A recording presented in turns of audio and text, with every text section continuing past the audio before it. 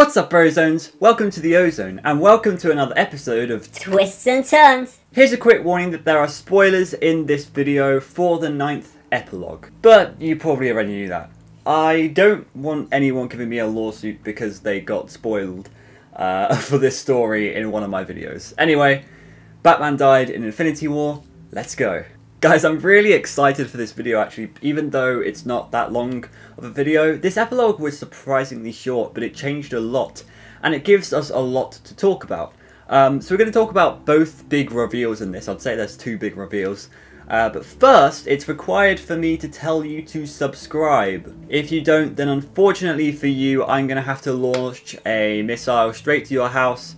Uh, so it's probably best that you subscribe. I probably shouldn't have threatened people uh, to subscribe, but do it. Just subscribe. I'm on my last push to 10k, and I think we can get there before the end of the month. Okay, so first of all, let's talk about the girl that everybody wants me to talk about. So last time we had Jake, uh, the Stitch Wraith, protect this girl from these drug dealers, and in this epilogue we find out that the girl's name is Ronelle. She wakes up and looks better than she did before, but Jake points out a few things that are off. Number one, there's something off with her name, but Jake can't quite put his finger on what it is. We're actually going to return to this in a second because it's very important. Number two, Jake is surprised that Ronelle isn't scared of him.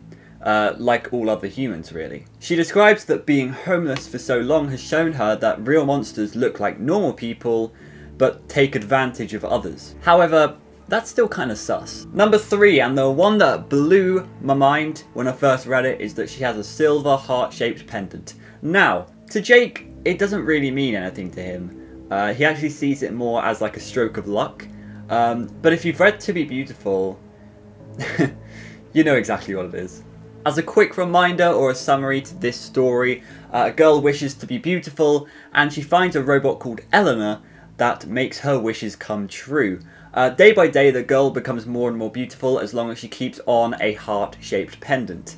And yes, I'm 99% sure that this is the same one from this epilogue. The big reveal in the story, however, is that the pendant was creating an illusion that made people around her see her as a beautiful human, when in reality, Eleanor had severed off all of her limbs and replaced them with scrap bits of metal. To this day, this is one of my favourite stories in the entirety of the series, and I'm so glad that the pendant has come back.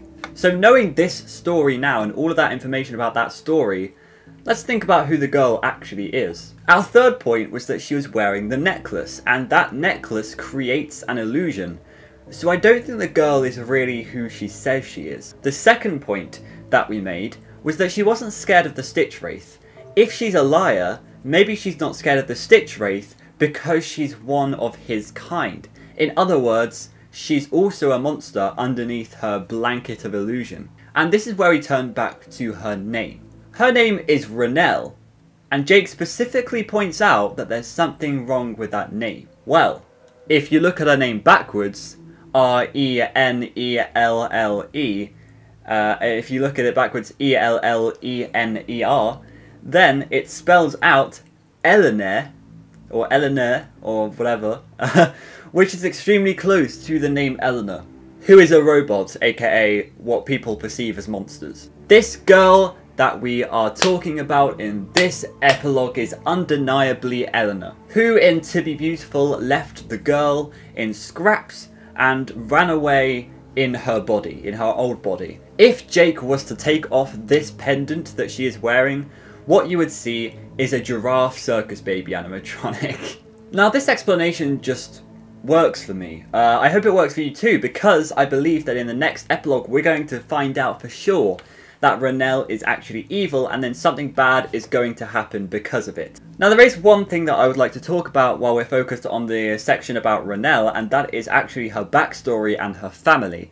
So Ronelle was actually kicked out onto the streets by her father. Her mother died when she was only 13 and to deal with the grief, her father became obsessed with his work. She was kicked out because she stole money from him when he was when he sent her to boarding school. Now, I'm not 100% with this theory, but many people have said that her father is or is a parallel to William Afton. We never actually saw Afton's wife in the games, and so we assume she passed away.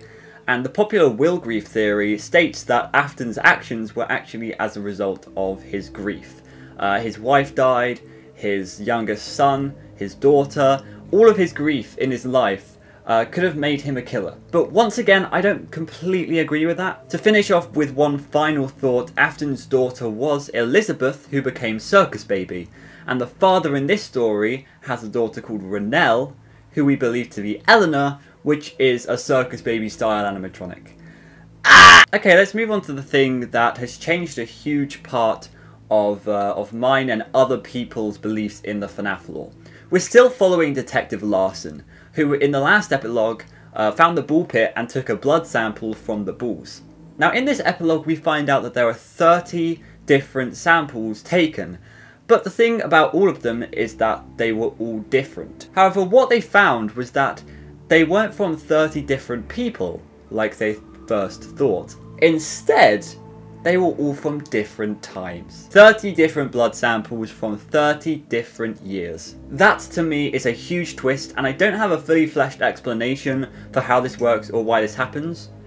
But let's think about this for a second. Remember that the pit that Oswald jumped into took him all the way back to the year 1985. However, we didn't have the present year for this story.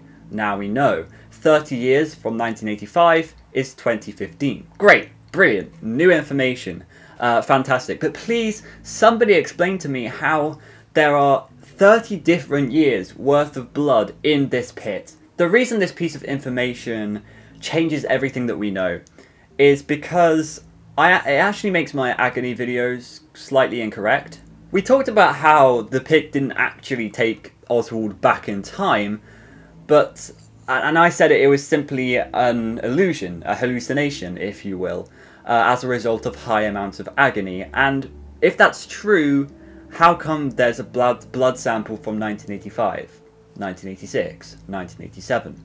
It, it doesn't really make much sense. The only ways I can see this making sense are firstly if Agony suddenly had the ability to manipulate DNA, which I really don't think is a great hypothesis, or if it had the ability to actually take you through time. Um, and the blood that was let out in the story could have actually travelled through time itself. Think of it like a waterfall. You have a top and you have a bottom. If you jump from the top, yes, you'll get to the bottom, but there's a whole load of water in between. So yes, there's blood that's travelled all the way back to 1985, and there's blood in 2015 that, that didn't travel through time at all.